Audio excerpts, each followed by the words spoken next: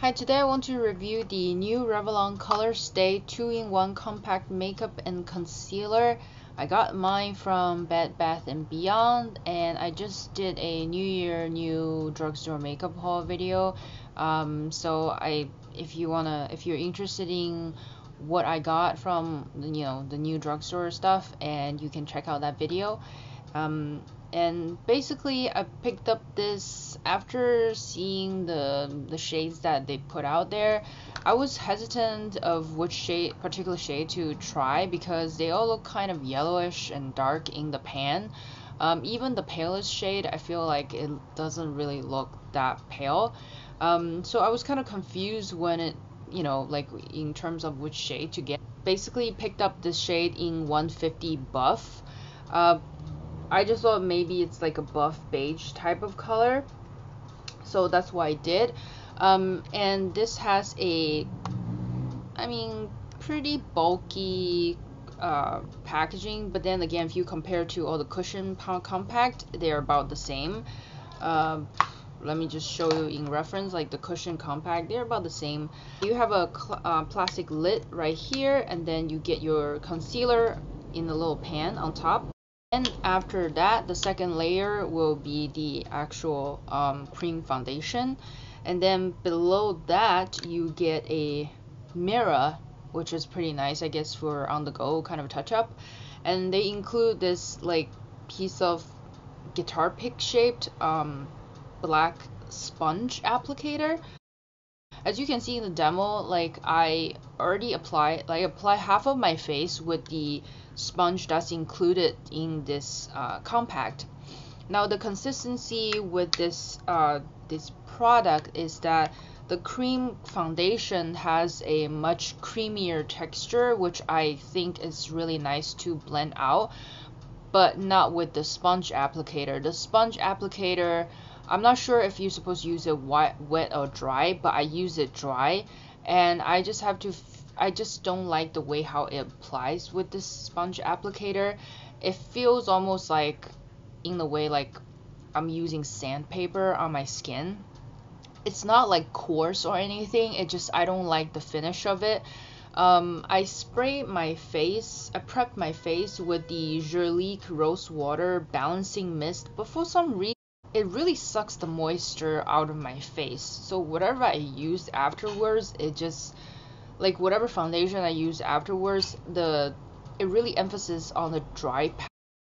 And I apply the other half with the Real Techniques. Um, this is the sculpting brush, which I really like, and I feel like this brush is pretty dense. And as you can see, um, it applies. I feel like it applies this cream compact foundation like so much faster than the sponge itself. So um, it doesn't really leave any streaks on my face either since it's like a really nice dense like blending brush. So I actually like the application with this particular brush but I feel like you can probably try to use a dampened like beauty blender uh, that might be a much better sponge or you can just use any other of your favorite foundation brush to apply this cream compact but definitely I wouldn't recommend the uh, the sponge applicator that comes with this compact. Doesn't matter if I use a sponge or the brush I feel like it's very weightless. Um, and I don't th I think it's probably transfer proof um, yeah I think it's transfer proof because I don't really see anything. Um, I feel like the color stay Revlon color stay makeup line is supposed to be really really good. I think people say that it has a really long wearing time and it's supposed to be like transfer proof so um, this is my first time actually trying out like um, color stay uh, foundation line I went back with the um, concealer. The concealer, as I swatched it, it really has a much like thicker and drier, actually drier texture, which I think um, is good and bad because it's bad in the way that you it's harder to like buff like blend out the concealer if you want to use it under eye um, and it's dry so because your under eye is very like thin like very thin skins under your eyes so if you use a drier like concealer it might kind of like separates or sinking to the fine line so it doesn't look so nice. You want something definitely has a little bit more emollient or something underneath your eye and uh, I try to cover up this red spot on my above my eyebrow area. I've used a sponge to like tap in the color. I actually tap like two layers of it.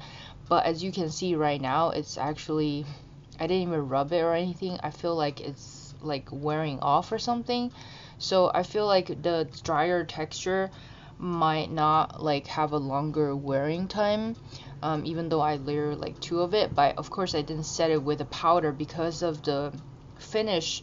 It's like um like a matte finish.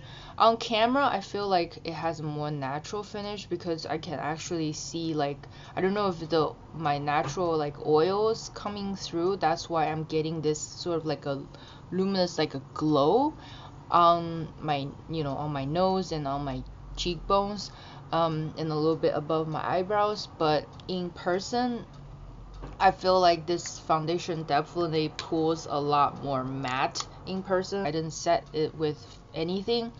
I didn't put any like blush any bronzer like any powder or any face mist or anything on top of this foundation but for some reason on camera actually looks really nice. But in person it looks horrible like close up in the mirror. Like I definitely see all the dry patches here the dry flaking skin around my you know the cheek area over here. It's very cakey over this area. Some doesn't even look like it's really blend in where the area um where this half of the face um oh actually this half of the face where I use a sponge to, to sponge to apply um it looks like it wasn't really blended in really well and I feel like the the concealer since I didn't set it with the powder um for some reason like it's wearing off already and I only had this on for an hour. I feel like my tan has like kind of faded on my face so this is pretty close to MAC like NC20 so if you're around that range uh, pick a buff um, yeah this is pretty close to MAC's NC20 to me I like the fact that it's a nice matte finish so maybe it will be a good compact um, foundation to use when the weather is a bit warmer when my skin is a little bit more oily. Uh, I wouldn't really recommend this particular compact makeup uh, compact foundation. Um, and I think this costs around 11 to 13 dollars like depends on where you get this. If you're a fan of the Colorstay line from Revlon then um, get it and try it but otherwise I wouldn't really recommend this particular foundation.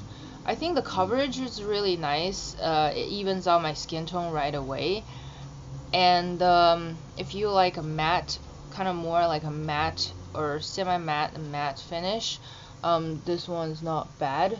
But like I said I don't feel like this is long wearing because it's been an hour or so and uh, I feel like my skin is already getting like glowy glowing, you know, everywhere. So I don't know. I mean, it's not like oily, oily, but it looks definitely looks glowing on camera.